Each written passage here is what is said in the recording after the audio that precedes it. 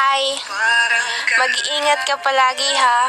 Lalo na ngayon, uso yung COVID-19. Lagi kang magmas at alkohol. Pinasa ko sa iyo to kasi importante ka sa buhay ko.